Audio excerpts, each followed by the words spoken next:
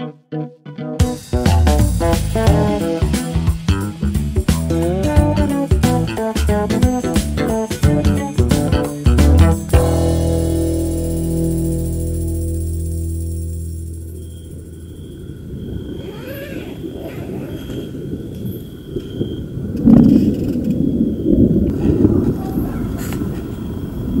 to a slyšíte to. Přikolikoval jsem stan.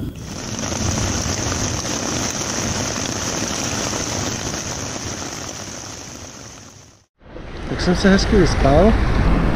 Potom, co jsem se nachystal, už bylo 12 hodin. Trvalo mi to tak dlouho, protože v noci přišla bouřka, která spoustu věcí hlavně tam zašpinila.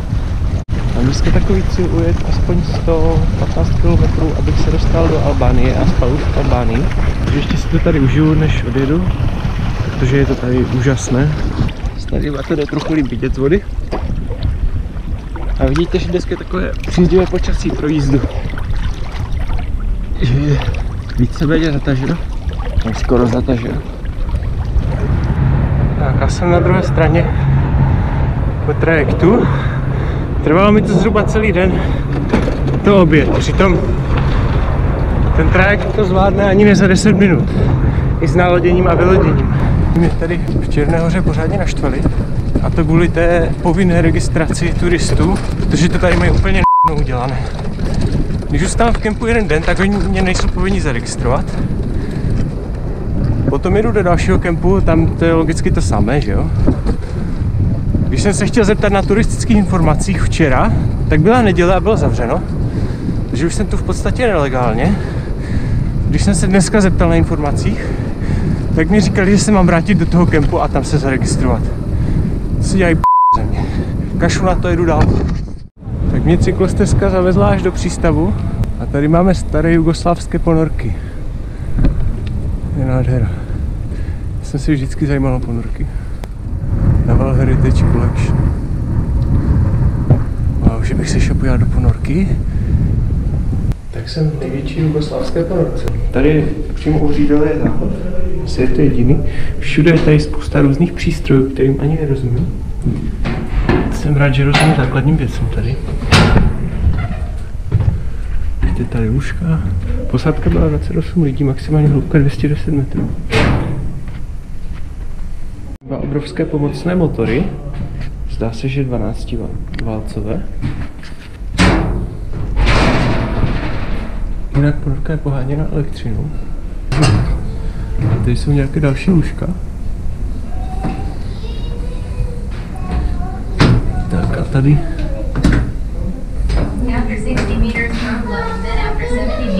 Right. Tady to vypadá jako nějaký pr- primitivní počítač. Tady to bude nějaký sonar. Tady se ta ponorka řídila.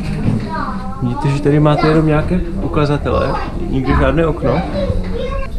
A tady toto je radiostanice. Pěkné, že na ponorce mě vytaháček na morzovku.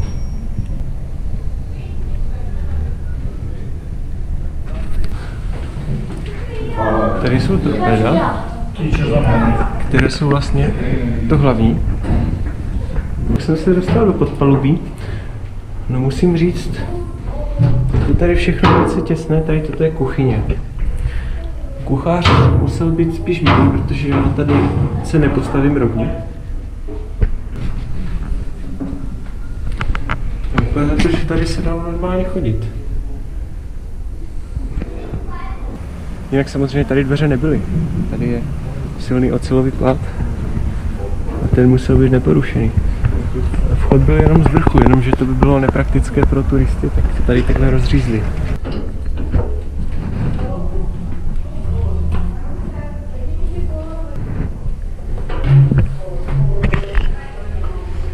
Tady je tlakozrný pokol. Není tady v podstatě nic. Tady jsou vlastně čtyři řídící plochy a lodní šroub. Tady je malá ponorka, kterou teda nemůžeme navštívit.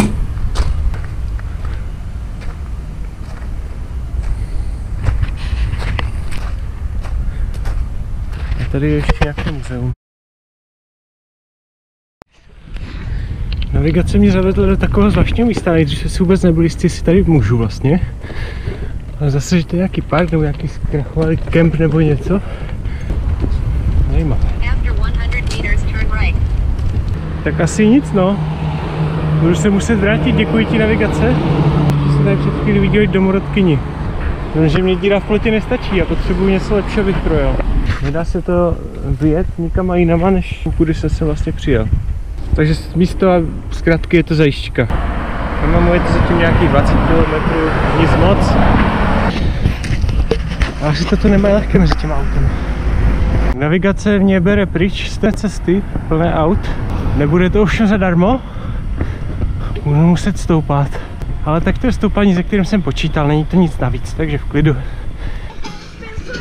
Tohle je ta cesta, po které jsme původně.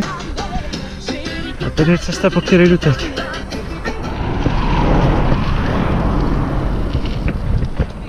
Tak jeden člověk mi říkal, že doufá, že mám dobré brzdy, protože to tady bude fakt prudké. Tak jsem zapnul kameru.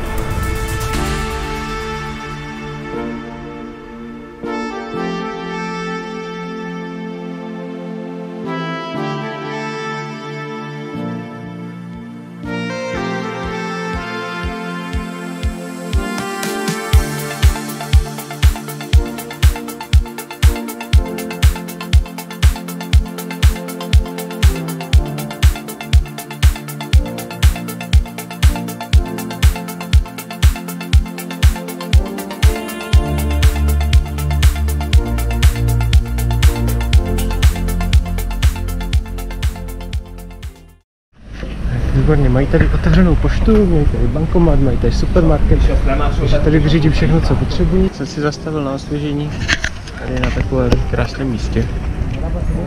Přímo v Budvě. Už mám na je to 35 km, ještě mi stále docela dost zbývá.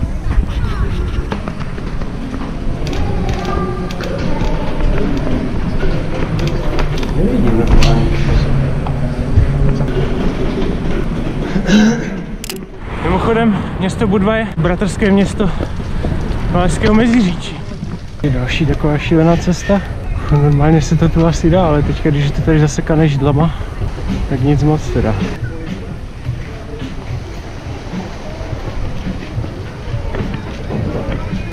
Už jsem přemýšlel, že to objedu, ale pak jsem se rozhodl, že pojedu tady. Protože tady mají takové krásné skály. A tunel, wow. Tak to jsem rád, že jsem zapnul kameru.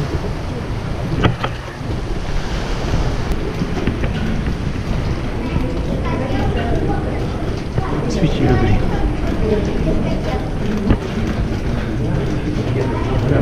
A lidi tu chodí normálně pod mě a nevadí jim to.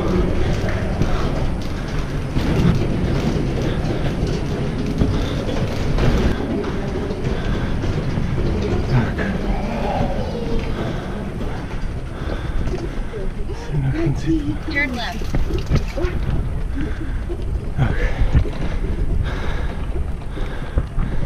Teďka máme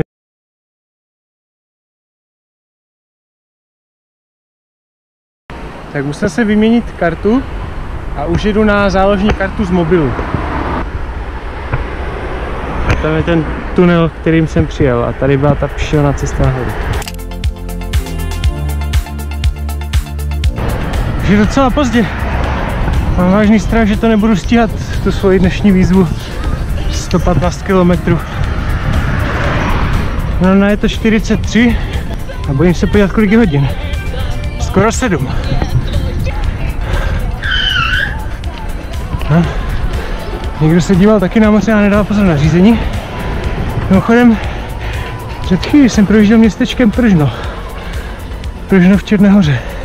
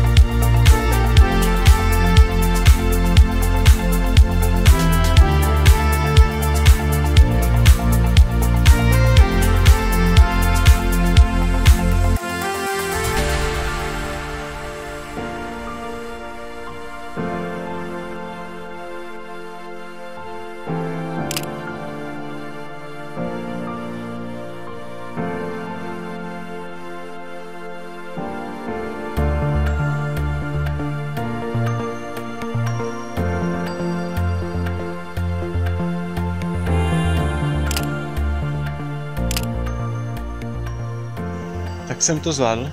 Teďka je skoro půlnoc, jsem v kempu v uh, Albánii. 117 km jsem ujel. Bylo to chvíle psycho. A mají tady geniální kemp. Je otevřeno 24 hodin denně. Člověk přijde a hned tady má všechny informace.